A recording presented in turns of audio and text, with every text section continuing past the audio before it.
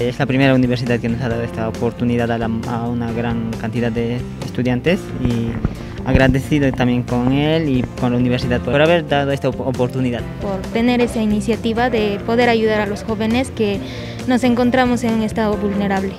Pues agradezco a la UNSA por el apoyo que nos está dando y pues que siga adelante.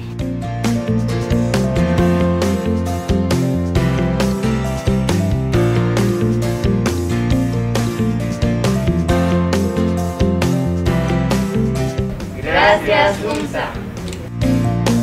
Rumbo al Bicentenario.